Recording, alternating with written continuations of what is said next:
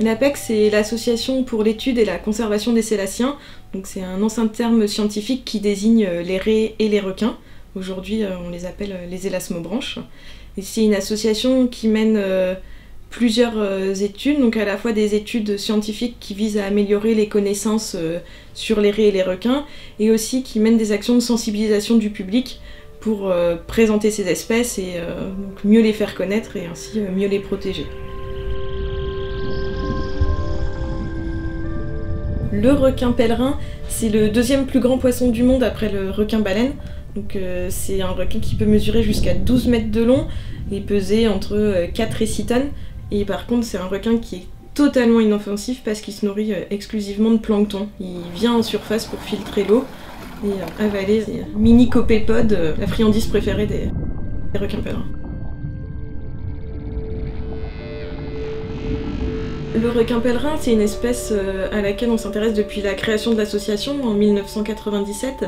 C'est une espèce qui est méconnue et du coup l'idée euh, c'était mieux connaître ses déplacements, sa biologie, donc euh, sa reproduction par exemple, son écologie, quels habitats sont fréquentés par l'espèce pour pouvoir l'étudier et mieux la protéger.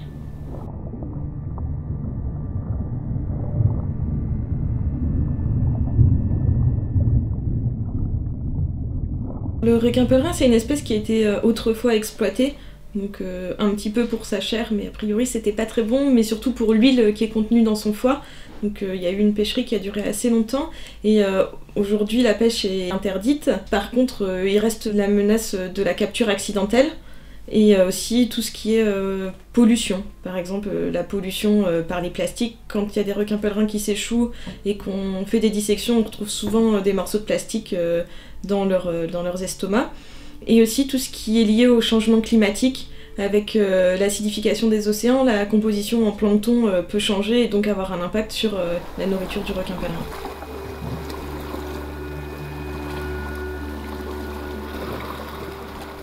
L'idée, c'est d'essayer d'en apprendre un peu plus sur leur fidélité à certains secteurs et ce qui reviennent d'une année sur l'autre aussi de ben, mieux comprendre leurs déplacements euh, à grande échelle et savoir euh, aussi où ils vont en hiver. Autant on peut les observer en surface au printemps en train de se nourrir, par contre l'hiver, euh, souvent on n'a aucune observation parce qu'ils ont tendance à rester en profondeur. Donc c'est toutes des choses qui peuvent être étudiées via la pose de balise de suivi par satellite.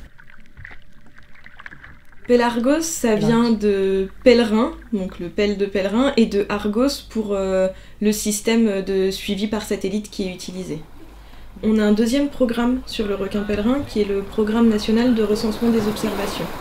C'est-à-dire qu'on fait appel aux usagers de la mer pour qu'ils nous signalent en fait la présence des requins pèlerins quand ils en croisent en mer. Donc ça peut être des plaisanciers, des pêcheurs, même des gens qui se baladent sur le littoral.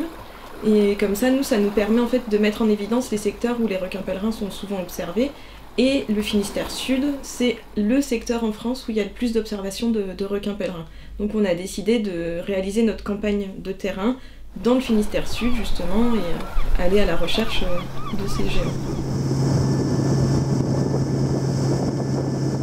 Alors les campagnes de terrain en général c'est entre avril et juin.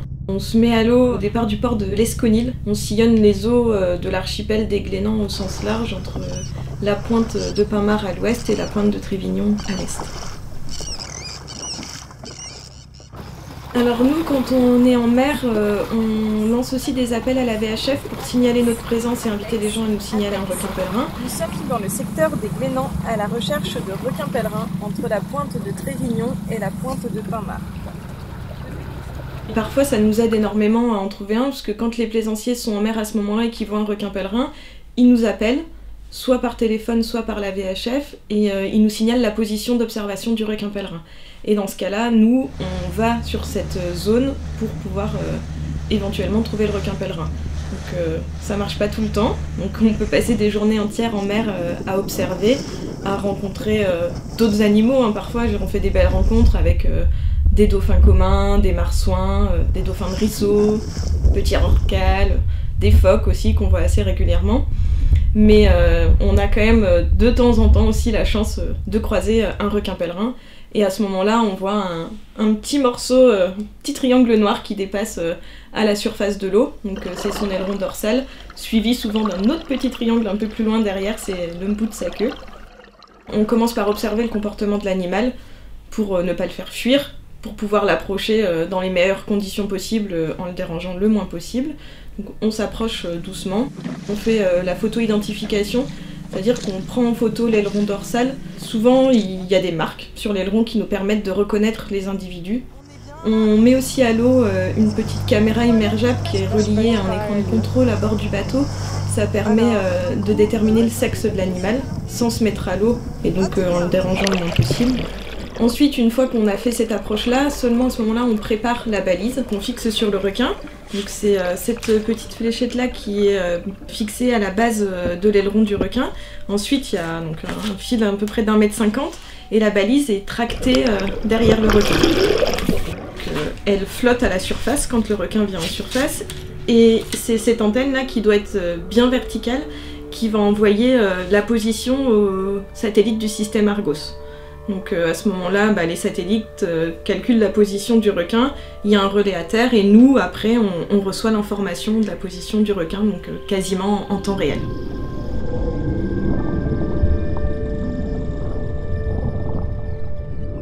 Donc il y a par exemple une femelle qui s'appelle Anna, qu'on a donc marquée au Glénan, qui est allée jusqu'au nord de l'Écosse au mois de septembre et qui est ressortie au large de la Mauritanie en janvier 2017. De tous les requins qui avaient été euh, marqués, équipés de balises de suivi par satellite euh, jusqu'à présent, donc aussi bien par la France que par d'autres équipes, ils étaient allés au plus au sud au niveau des Canaries, et donc là on a un requin qui est descendu euh, encore plus au sud dans l'océan Atlantique. Donc c'est une info hyper intéressante. Et cette année, donc en 2018, on a marqué trois requins. Et donc la première femelle qui a été marquée donc, s'appelle Marie B.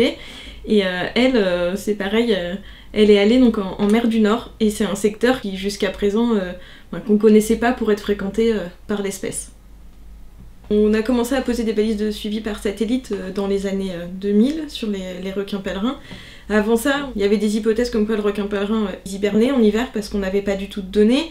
On pensait aussi qu'il était présent uniquement dans les eaux euh, froides euh, et tempérées. Et finalement, avec euh, le déploiement des premières balises de suivi par satellite, on a pu se rendre compte que les requins pèlerins, en fait, l'hiver, ils venaient pas en surface, mais ils hibernaient pas pour autant, ils se déplaçaient et qui parcouraient en fait toutes les eaux de la, de la planète, aussi bien les eaux tropicales, sauf que dans ces secteurs-là, ils restent plus en profondeur.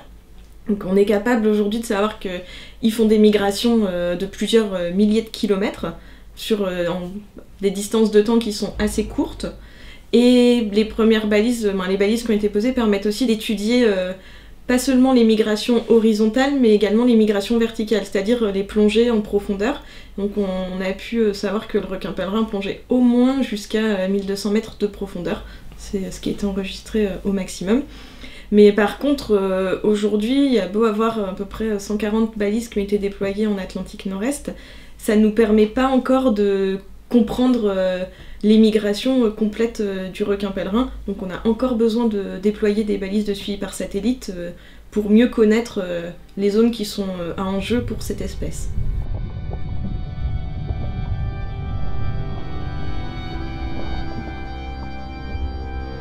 A priori, son nom viendrait de la ressemblance au niveau de, ses fentes branchiales. Ça fait plusieurs plis à la pèlerine, cette espèce de grande capuche que euh, les pèlerins euh, portaient sur eux.